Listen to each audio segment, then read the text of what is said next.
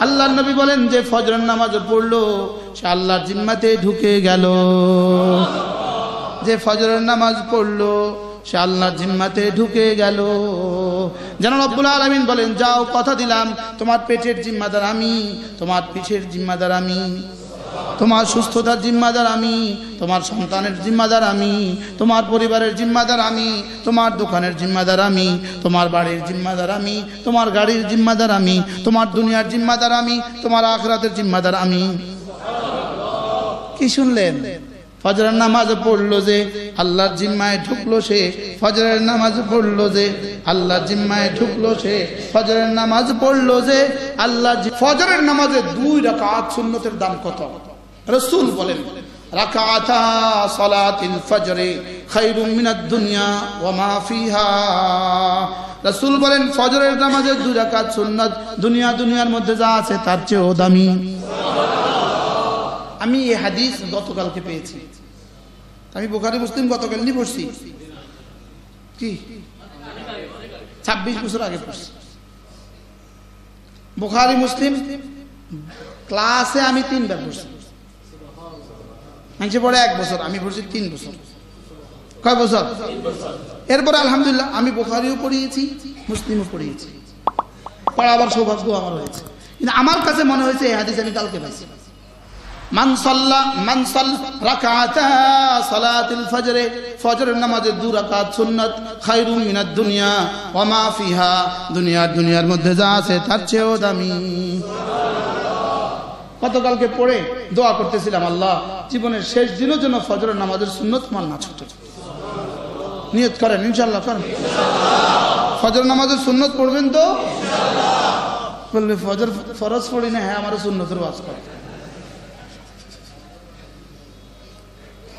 কি? দেখছেন ফলিসি কি? রাসূল সুন্নতের লোক দেখায়া ফরজ পড়ায় দিছে। সুন্নত যদি এত দামি হয়, এক কোটি সুন্নতকে এক জায়গায় দিলেও ফরজের দাম হবে না। তো সুন্নত যদি এত দামি হয়, ফরজের দামটা কত হবে?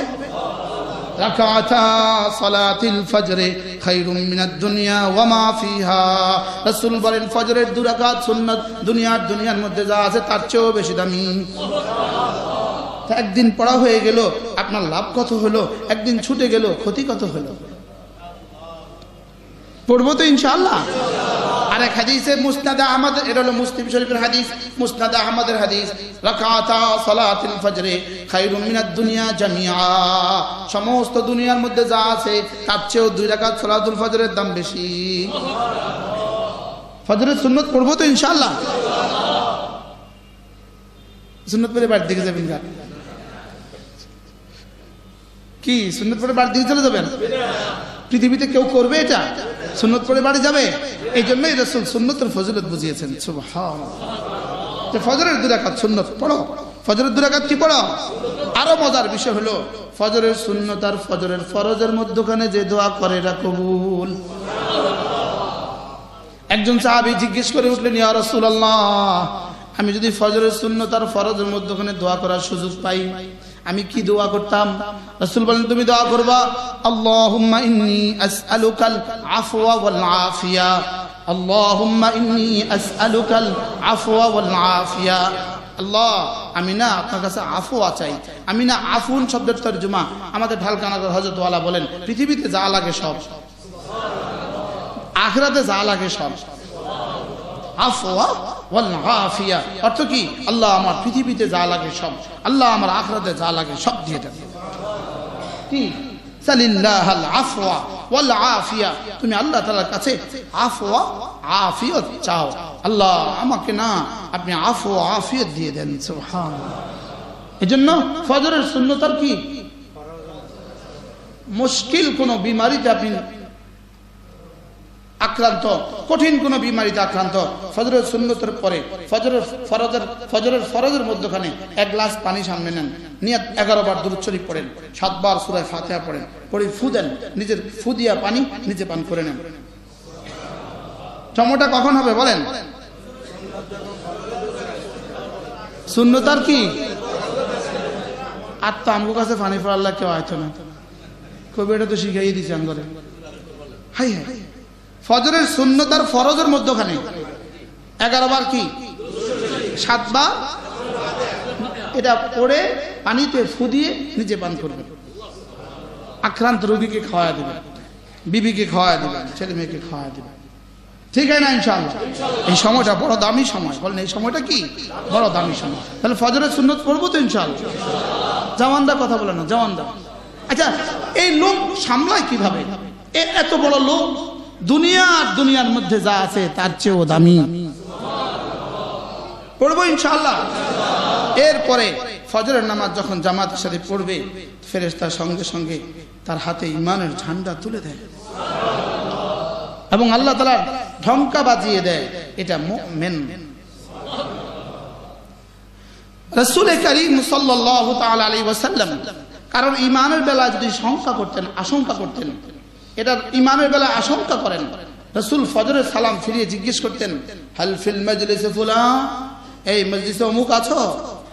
মসজিদে অমুক আছো? তো তাকে তো দেখা যাচ্ছে না। রসুল বলতেন, আমার সন্দেহ ছিল সে মুনাফিক হয়ে গেছে কিনা। এখন তো পরিপূর্ণ হয়ে গেছে সে মুনাফিক। নাওজুবিল্লাহ বলে না। রসুল, মুনাফিক চিহ্নিত করতেন কি দিয়ে? বলেন, ফজর নামাজ না পড়া দিয়ে ফজরে নাই, সে মুনাফিক। এখন কি অবস্থা? কত পার্সেন্ট নিজের হাল কি? নিজের হালত কি? আজ থেকে বাকি জিন্দগি ফজরের নামাজ জামাতে পড়ব ইনশাল্লাহ না ইনশাল্লাহ হাত তুললে তুই। ইনশাল্লাহ ফজরের নামাজ জামাতে। রসুল বলেন আমি তাবুক গিয়েছি তাবুক তাবুকের এক মসজিদে ফজর পড়ছি দেখি যে গেটের পাশে বড় একটা ব্যানারে লেখা قال رسول الله صلى الله عليه وسلم من صلى صلاة الفجر فهو في ذمة الله আল্লাহ নবী বলেন যে ফজরের নামাজ পড়লো সে আল্লাহর জিম্মাতে ঢুকে গেল যে ফজরের নামাজ পড়লো সে আল্লাহর জিম্মাতে ঢুকে গেল। যেন রব্বুল আলমিন বলেন, যাও, কথা দিলাম।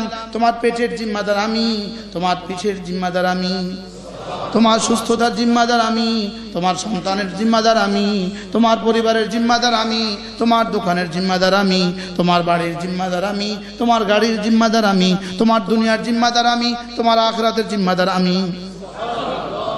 কি শুনলেন? ফজরের নামাজ পড়ল যে আল্লাহর জিম্মায় ঢুকলো সে, ফজরের নামাজ পড়ল যে আল্লাহ জিম্মায় ঢুকলো সে, ফজরের নামাজ পড়ল যে আল্লাহ জিম্মায় ঢুকলো সে। কি বলছি?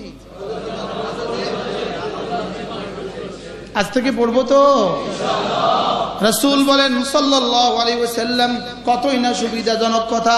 রসুল বলেন, তুমি যদি আসার নামাজ জামাতের সাথে পড়ো, ফজরের নামাজ জামাতের সাথে পড়ো, আল্লাহ রসুল বলেন, সে যেন বিনিদ্র রজনী কাটিয়ে দিল। সে যেন আল্লাহ তালার সামনে সারা রাত দাঁড়িয়ে থাকল।